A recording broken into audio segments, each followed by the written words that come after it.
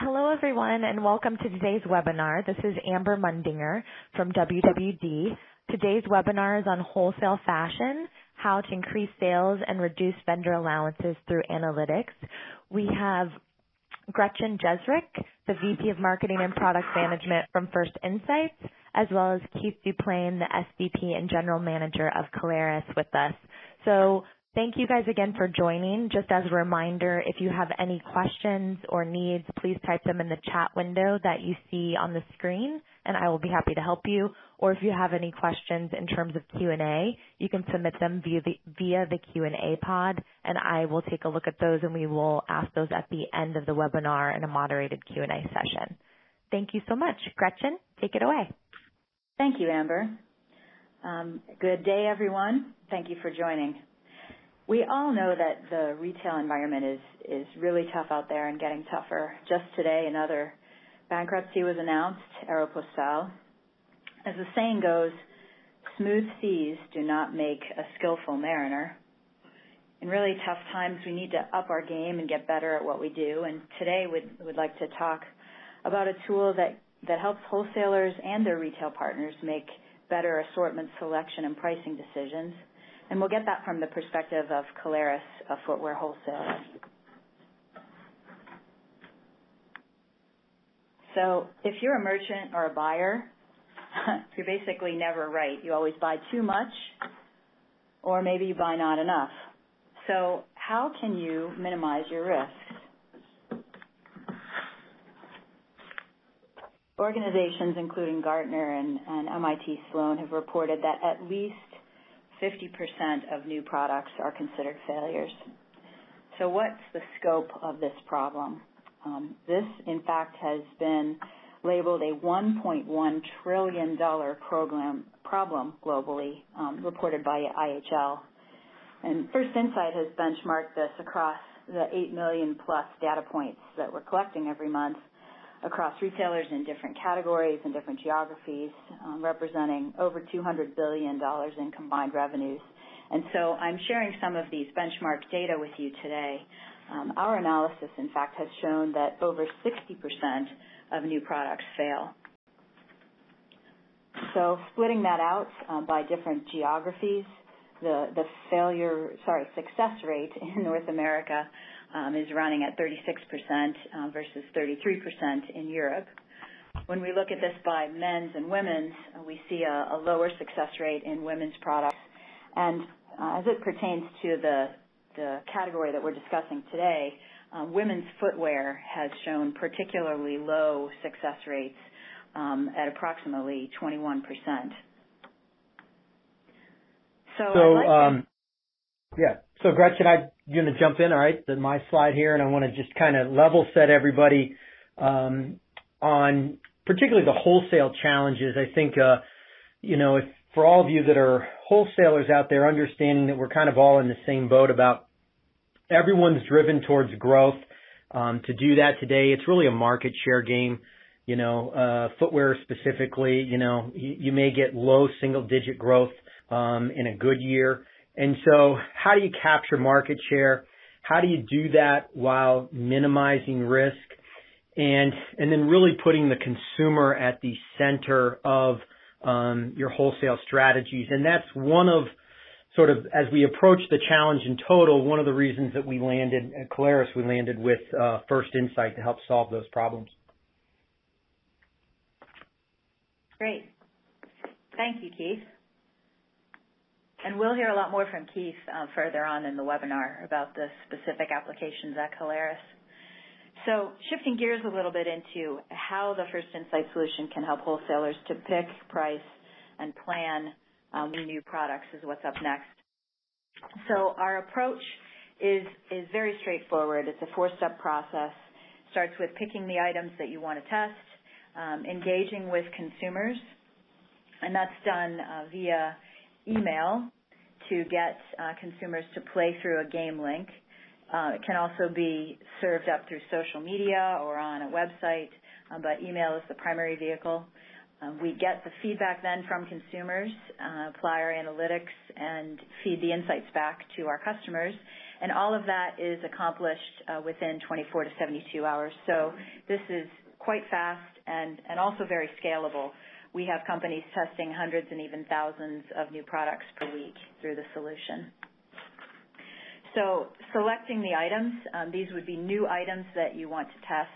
We are also able to test uh, existing products, but the real sweet spot of the solution is giving you information about products before they come to market. So it's kind of the idea of what would the value of tomorrow's Wall Street Journal be to you today. Um, you have to then also pick some control items. This is this is how the um, algorithm works. Is that these control items are a couple of products that are in the same category that are known to be strong performers in the market and a couple that have been seen to be weak performers. And so we leverage those items to be able to weight and filter the responses of the consumers um, and pull out the people who are really good predictors for this category and this group of products and weight their answers more heavily. Um, the folks who really don't get it, they're not able to identify, you know, a winner from a dog then we will weight their responses across the new products less heavily, and that's how we're able to make this a predictive algorithm. Basic information is needed about products in order to test them, the name, description, um, planned MSRP or test price, and ideally cost information so that we can feedback um, gross margin impact as well. Then uh, we engage with consumers and uh, we ask them a couple of upfront survey questions. This is very important from the perspective of a wholesaler because um, they're able to then identify consumers who are buying in one channel versus another, another, and then be able to look specifically at responses from customers who are buying, say, on Amazon or at Macy's, and this is now possible to actually pick multiple responses. Um, then, once we um, have figured out a little bit more about those consumers, we start showing them a series of products.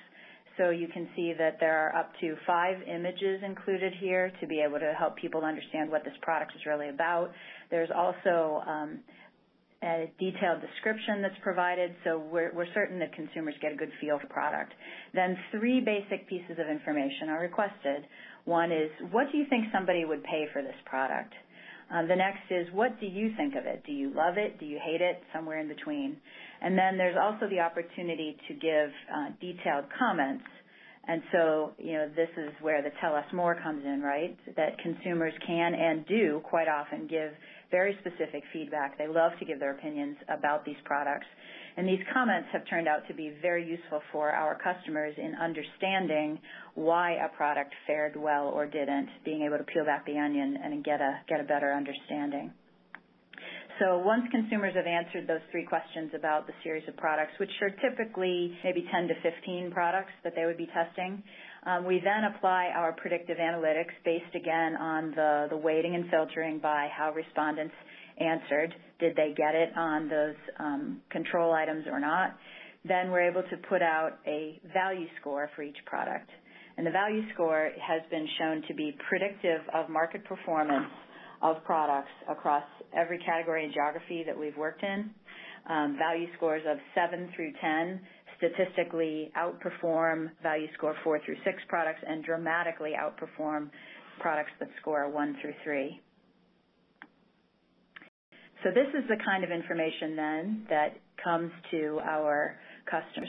They would see a ranking of products by value score um, from highest to lowest, and they also get feedback about people's willingness to pay and sentiment about the product. So looking at this specifically for one given product, the kind of information, um, in this case, this product received a value score of 9. There are a few reasons for that. One is that the model price, which is the prediction of average unit retail price across the life cycle of the product, was very close to the test price or the planned MSRP. Um, so that's showing that people are in fact willing to pay that kind of money for this product. The other factor is that the positive sentiment was 43%, which is quite high, and definitely higher than the negative sentiment on the product. Um, so overall, this was a strong performing product. Um, what you also see here is, is the demand curve. This is the distribution of demand across various price points. And um, Gartner, which is the leading research firm, analyst firm uh, for technology companies, has told us repeatedly that First Insight is, the only company that is able to provide an elasticity curve for products before they have any sales history. So this is the kind of information that is provided about products that are tested by our customers. Now, where this gets particularly interesting and granular for wholesale companies is that, as we discussed, we're able to ask up front, you know, where do you buy your shoes? Um, And in this case, uh, we've been able to split this out by, you know, by buy online, I buy in department stores, I buy in mid-tier, mid-tier retailers. Then we're able to provide information about which styles are faring and performing better um, in which different channel. And so this is helping a wholesale company figure out what the right assortment would be, you know, for department stores versus specialty retailers. So at this point, I'd like to hand things over to Keith so that he can tell you specifically how Caleres has been working with the First Insight solution. Okay, thanks, Gretchen. So again, um, Keith Duplain, I'm the um, general manager for today, the Dr. Scholl's division for Caleres. I've been uh, a wholesaler for about 18 years and um, over here at Caleres for about 11.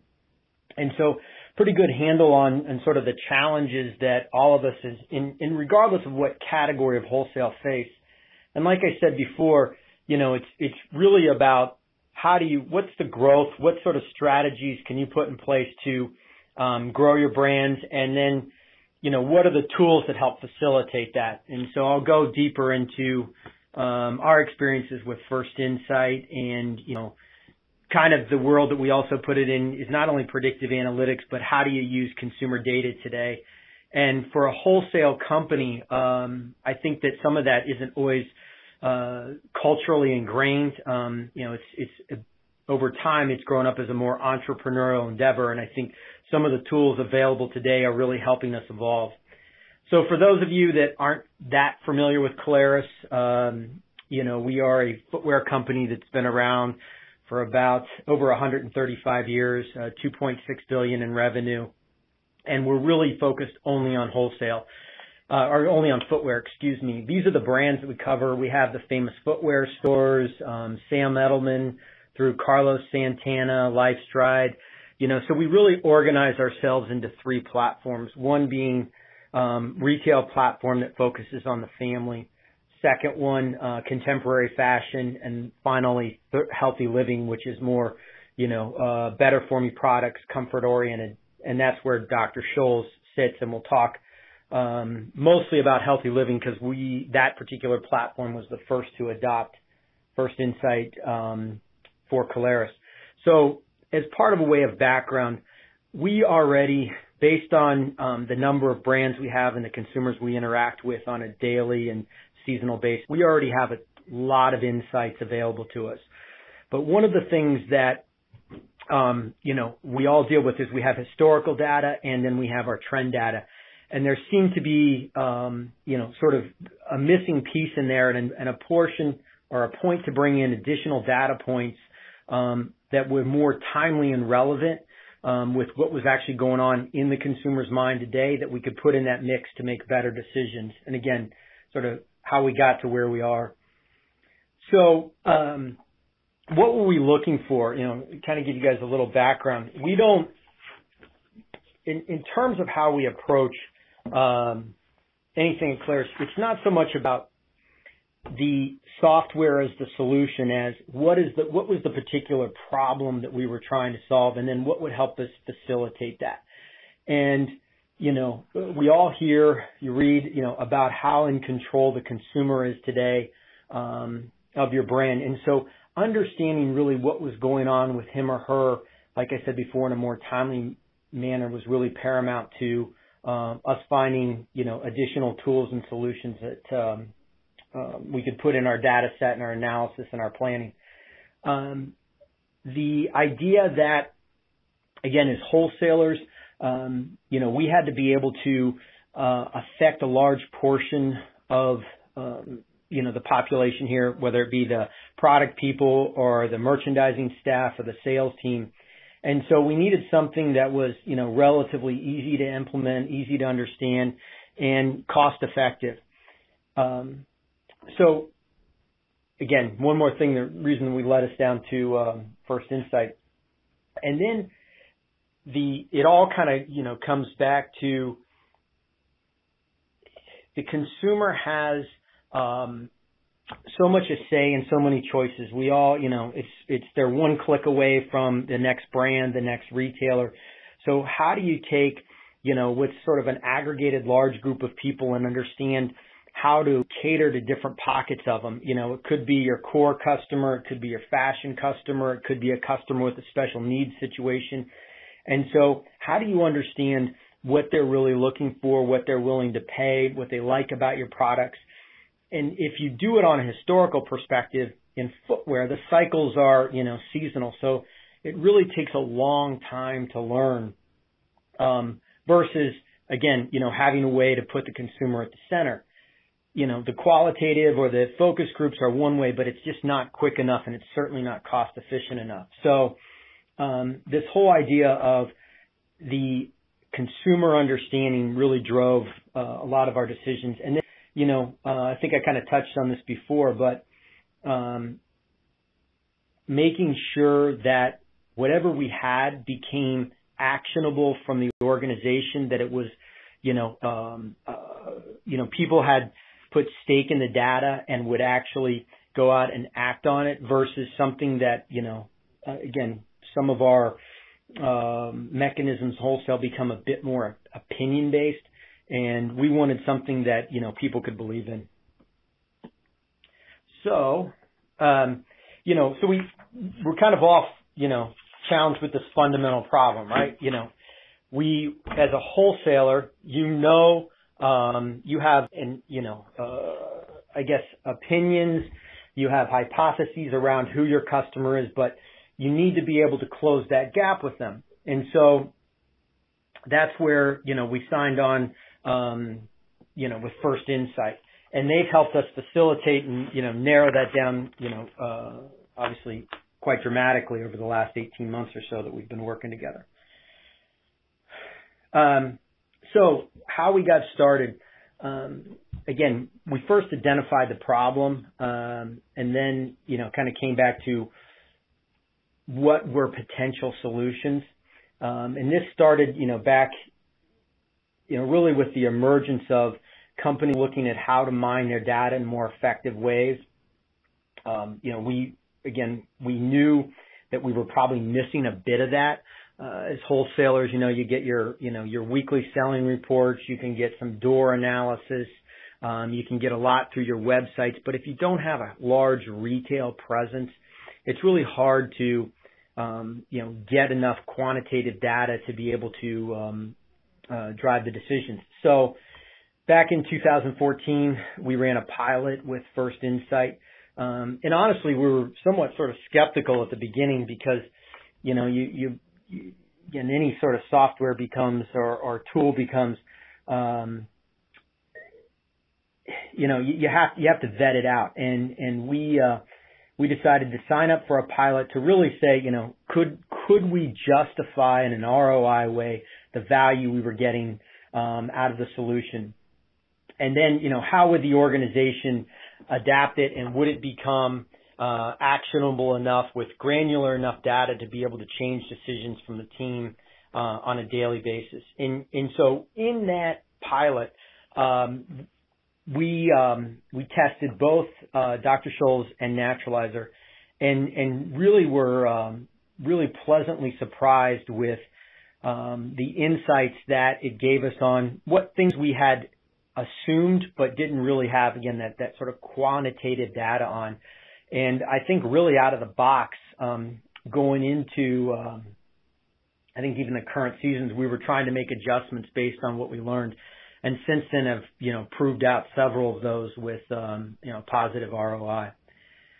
So how does the, uh, you know, how does it, I'll tell you how it worked in terms of what, you know, worked for us and then, um, you know, how we implemented it. But, you know, the thing is that it's got to seem seamless to your brand. Um, it can't, you know, it, it can't feel, we didn't want anything that felt like, you know, we were trying to get a consumer that we wanted to engage with, with a third party. It needed to feel like, you know, it was coming from us to get that sort of genuine, you know, authentic feedback. And so everything that uh, First Insight did really helped us to make it brand appropriate.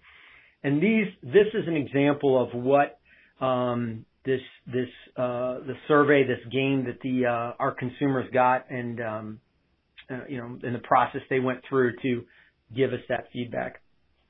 So, you know, the first thing is you know, touched on a little bit is is you have to get granular. The you know, it, there are so many retail segments within retail segments. There are um, you know, retailers that have, you know, different profiles of consumers or different objectives which they're trying to, you know, drive in their organization. So being able to get really granular and understand who you're talking to is, in my opinion, the only way to make it actionable. So we kind of worked together to figure out that, you know, again, as a wholesaler, we didn't have an extensive uh, database of people to be able to to um, you know correspond with and send the game. So we had to go out and use third party databases, and then through you know a series of the questions that I'll walk you guys through is is figure out who they really were and if they were appropriate for what we were trying to learn.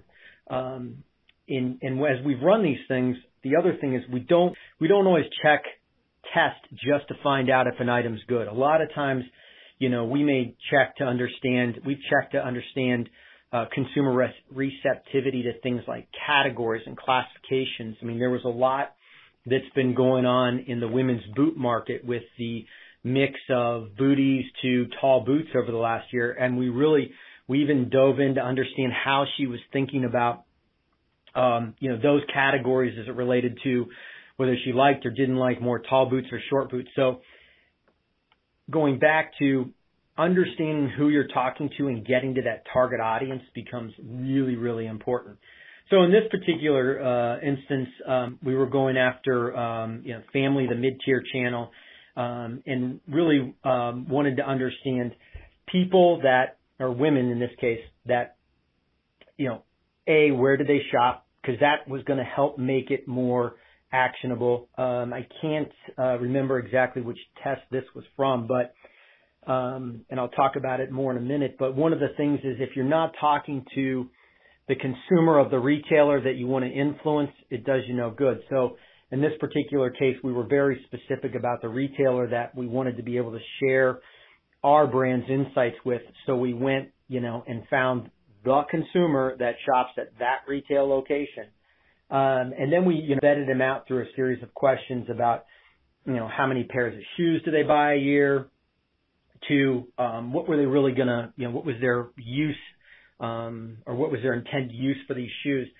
And Gretchen talked about it earlier. Is you know they have to be um, involved in the category. They've got to be um, opinion savvy so that the information, you know, really becomes valid. So, you know, people that weren't, you know, heavy users of footwear um, were weeded out. People that didn't want, um, you know, or didn't, weren't looking for, you know, the weekend or the casual location occasion, they were weeded out. So we really got down to um, data sets that that um, statistically valid, and we felt good about who we were talking to and the feedback that they gave us.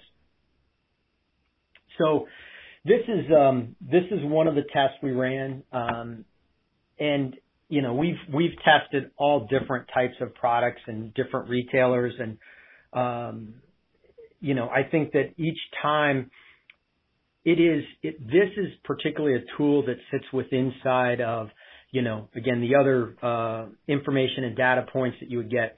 You know it it's never been solely you know we only use First Insight. We still use a lot of historical data, you know, retail performance, uh, vendor scorecards, um, other quantitative data available to us in the market, and we still use a lot of trend services. But this married with that's given us a lot of insights, and I think every test that we've run has really, um, you know, we've gotten something out of it. So like Gretchen talked about, we're testing model price, we're testing what they like about the silhouette. But one of the things that's probably um, we didn't know this going in, but one of the things that was been the most beneficial is these uh, the consumer comments and being able to extract word clouds and get um, frequency of particular you know buzzwords that consumers were associating with our shoes, and that allowed us you know in some cases to make you know changes in terms of um, you know what they loved or didn't love about it. And this one um, was interesting, and I think how this one actually shook out is that we ended up modifying the material a, a, slightly because of some of the feedback that we received. And so, um, the, um, you know, again, just other examples, you know, we would always, the one thing you have to do is how you set these tests up become really important to, Um, you know, how the data comes out. So in working with the teams and when you implement this, we found that it, you know, you have to have a point person you have to go through, and First Insight was great about this sort of training the teams on how you put the test together. We didn't, we don't have the resources or the bandwidth to be able to put people dedicated against this, but we did point, put a corporate person as sort of the point person to be able to facilitate the test internally and help the teams, you know, um, sort of vet out what they wanted to learn. You know, in this particular case, we, you know, we, it was wedge sandals, and then, you know, it was down to price points and materials were other things that we were looking to understand. Silhouette as well in this.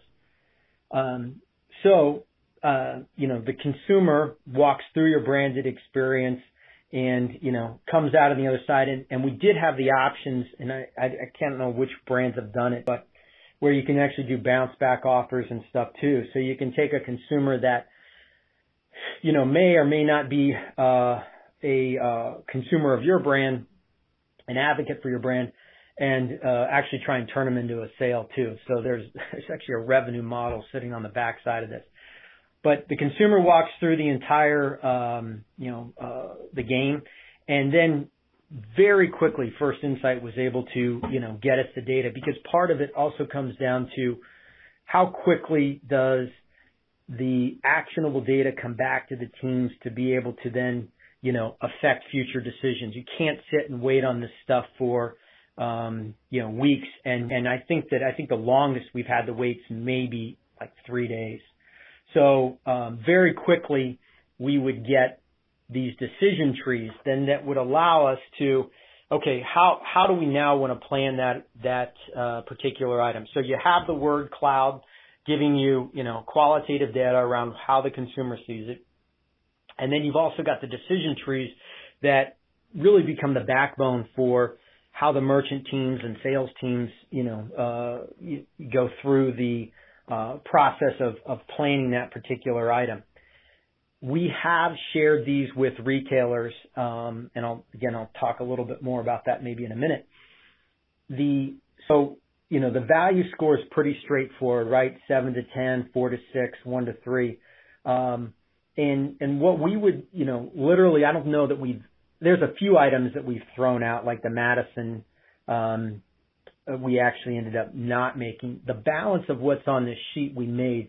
We just would either scale the inventory, um, our expectations for the item, or in some cases the price points down to make it, um, you know, a better sell through.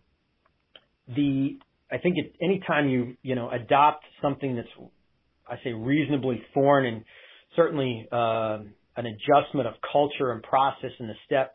I don't think anybody was willing to just sort of you know jump in with two feet and put you know total faith in the in the particular um, system and, and tool. So we've we've kind of waded in and decided you know what kind of risk do we want to take on the best sellers, and then how do we really want to minimize or adjust our merchandising strategies with the um, the ones that scored lower. So the other thing about this is that we did in fact um, we we we share we've shared this with several retailers, um, quite a lot of our big ones, in fact. And as you can expect with anything, you know, no different than installing this in your wholesale, you know, uh, teams. At the retail level, there's there's a there's a bit of a learning curve. We have uh, retailers that have absolutely embraced the data and are willing to you know, adjust and act accordingly with us. And then we also have ones that were, you know, highly skeptical. And so, you know, part of um, it's not a, you know, again, it's not it's not sort of a, a a solution you can just walk in and hand somebody. There's a huge education process because the idea of using, you know, extensive real-time data sets is just it's it's not you know culturally ingrained in a lot of uh, um, you know us in the the wholesale and, and fashion space. So um, a bit of a, a learning curve there, and, and and actually when Gretchen asked asked us to do this, one of the reasons that um, I thought this webinar would be important is because the more the more companies and the more that we start to speak in this way, I think the more that it gets adopted, the more uh, scale and, and understanding we sort of all collectively get better. Um, and I, I think that there, this represents what the future is, and the faster we get there depends on, you know, how um, how everybody learns collectively. So um, this was, you know, these decision trees become a a real focus for how we communicate the findings up and down the organization. And and when I say that is I I, think you know without fail almost every department within inside of our wholesale platforms get touched by this data. Um, you know it, it it affects the product teams and how you know if they need to adjust current product or how they think about the the next season or the next trip. Um, it affects the uh, the merchandisers, and you know, again, to the extent of what they're going to buy or what we can pay for the item at a particular factory partner, and it certainly affects um, sales in terms of their sales forecast and and the um, uh, emphasis they're going to put on a particular item with the retailer. So this has uh, and gets communicated um, again throughout the organization. These sheets were the output of um, uh, you know more granular data around the item, and I don't think we have any of the word clouds, but we would couple this with you know the word clouds and really try and understand you know uh, what in this particular case she was saying about the item, and so um, you know value score 10 um, that's great, but the retail price the um, the retail price was the other component in in trying to maximize gross margin, you know, or velocity to end up with, you know, um, fewer units at the end of the season. Um, you know, we we've started to play with a lot of elasticity uh, curves and understand the demand at different price points, and and really maximize that. That's another function that I don't believe is, you know, done particularly well in the wholesale business. And this is a fairly easy tool to be able to use. Um, they haven't shown you here, but you can actually, you know, uh, they can work, people at First Insight can work with you, slide those demand curves and understand the elasticity at different price points and, and particularly where um, we were working with um, um, some mass-based retailers, um, that was highly uh, important to be able to um, you know, understand that things in, in that particular market are very elastic and, you know, small changes in price points could do. So, uh, again, you know, output sheets that we've relied heavily on. Um, and here's a particular, another example. And, and I go back to the point about uh, you cannot just look at the value score and, um, you know, say, wow, it's, it's a five. I'm not going to buy it. It really becomes, you know, that's another data point to say, you know, is it priced right? Is it materialized right? You know, how how do we think about this particular shoe for the future of our brand? And and so we would a lot of times, I said with maybe a couple of exceptions, we would continue to make the items. We would just adjust them um, so that their impact on the business, predominantly from a negative standpoint, couldn't be that great, and we've kind of minimized the risk. So um, you know, where are we going? Uh, the it, I said earlier, it was started with uh, in the healthy living brands, um, Naturalizer, Dr. Scholl's. Um, I've used it predominantly. We are moving it into our contemporary brands. Um, believe Franco Sarto is going to begin testing some stuff, and and you know each brand has a a different question or a different opportunity to solve for, and so um, you know, we kind of you know, again, with First Insight's help, are moving the tool um, into the, um, you know, the divisions based on how they want to take historical data, trend data, and now consumer insights and, and figure out um, best course of action. Things like defining um, new core um, become, uh, you know, a top priority uh, for a lot of our brands, and this is a fairly effective tool in that because you can get to the people that understand what you historically have stood for, and are help are really good at um, at helping you find out how to so ever tweak that dial and move it forward ever so slightly. Um, so some of the other stuff that um, you know I, I would call it is the really important things to think about are um, the aligning your entire organization and educating them behind this particular tool um, to make sure that it gets adopted. You know, they know how to use the data um, becomes you know very important. Um, taking it and then you know working with your retail partners. Um, of course, it can live behind the scenes, but we found that you know know that educational product, process, that sort of industry knowledge. I think there's a lot of benefit for all of us. Um, and then, um, you know, uh,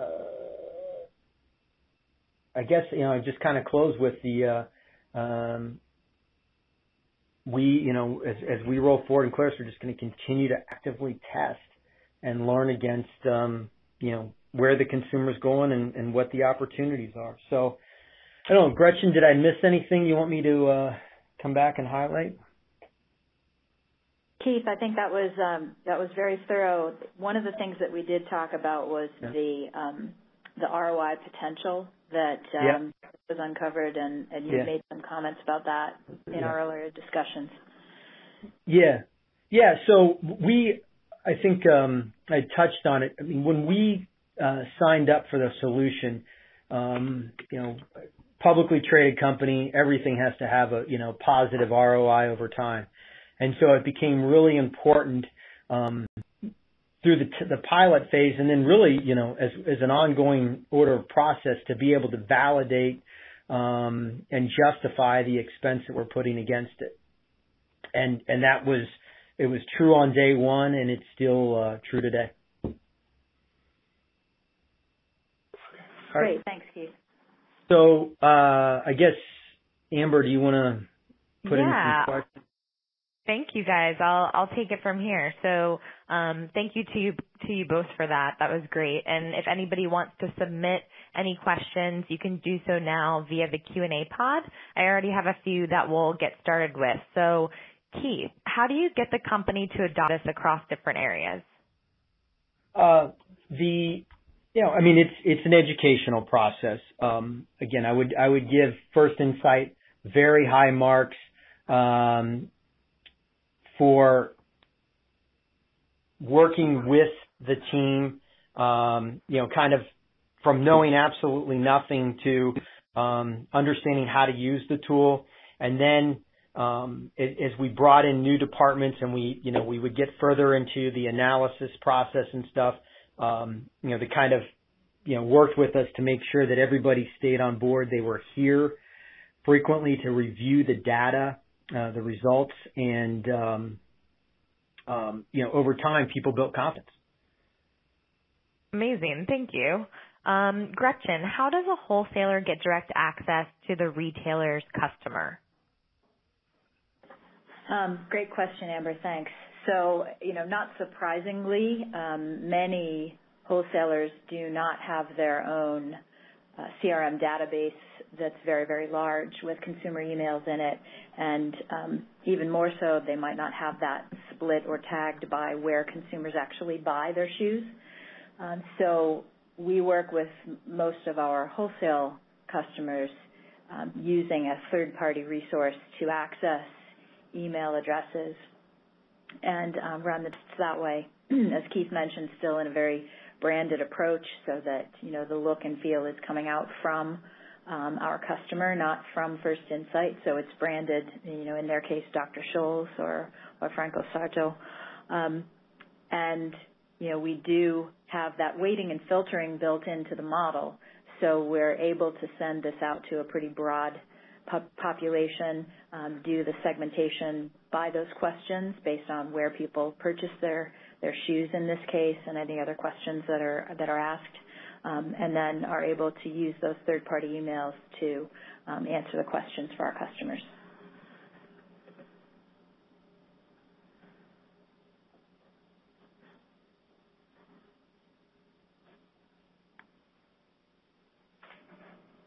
Next.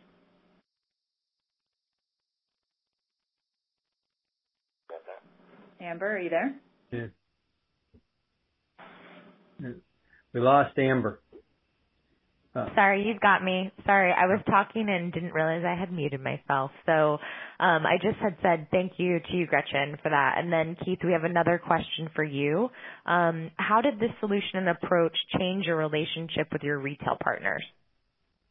Um, I, you know, I, I don't know that it's changed the relationship with the retail partners. Like I said, I think I think there's an educational process, and it's part of, um, you know, it's part of the dialogue. It's part of the business planning.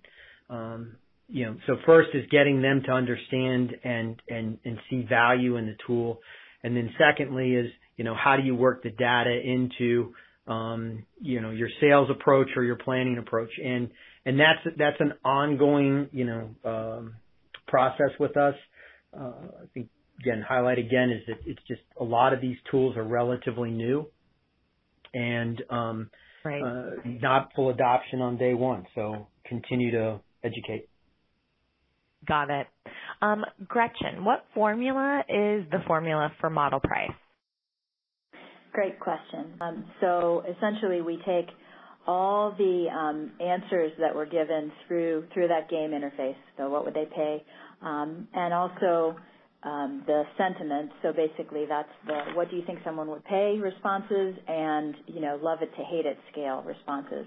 We take those data and filter and weight them based on the respondents' answers on those control items, the strong and weak performers.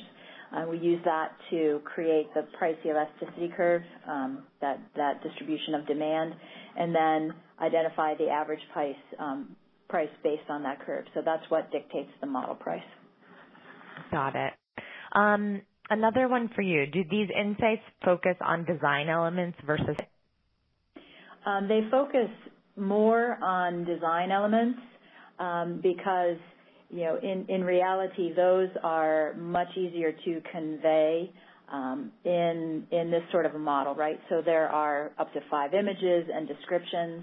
Uh, where we do see fit coming into play more is that there are, there are coming to be more of those um, fit types of apparel where you have, say, relaxed fit versus tailored, et cetera. And so those we are able to, to test along the way. Um, but it is, it is primarily uh, design elements. And I'd also add that um, we are able to test across the product development timeline. So it's fairly common, you know, for a design to be tested early. It might even be in the CAD stage um, and then you know be um, changed, modified, as Keith alluded to, based on feedback that's received, um, and then tested again at the sample stage, and maybe tested even another time right before it goes to market. So this can be a, an iterative process as well. Really interesting. Um, Keith, I'm, we have another question, and it starts with um, just a comment. I'm not sure if I completely understood. When initially setting up with First Insight, was Caleres able to choose the First Insights consumers that are taking these tests and producing the data? Were you able to choose your customer segments in this way? Um, so well, when we initially signed up, we did have some um, of our own databases that we could test against. You know, Naturalizer Retail, for example, had a database set large enough that we could test certain items against. But we very quickly, um, for it to be an effective tool for us to, you know, grow our wholesale and capture market share, we had to find and understand the consumers that were that we wanted or um, that were at our particular retail location. So that third party piece became um, very critical early in the game. Got it. Thank you. Um, Gretchen, on average, how many customer results do you get per round? Um, great question. So Um, because of the nature of our algorithm and the use of those control items to weight and filter, we only need on the order of um, maybe average 200 completed responses in order to uh, close out a test with statistically significant uh, results. Hmm, interesting. Um, another one for you, Gretchen. Do you guys also work with party supply companies, or is it just mainly focused on fashion and apparel? Um, we actually do work across a wide variety of categories. Um, party supplies does happen to be within that group. Um, we also work with Things Remembered, for example, in more of the kind of giftware. Um, we we work with Dick's Sporting Goods uh, as an example, and other sporting goods companies. We work in some food and packaging, um, apparel, handbags. You know, so it's a, very broad range, and um, our customers are also across North America and Europe, and um, we have some of our customers testing in Asia and Latin America as well. Amazing. I think that that is actually all the time we have for questions. So, Keith and Gretchen, I don't know if you have any other comments that you wanted to make before we kind of wrap up. Um, please feel free to do so.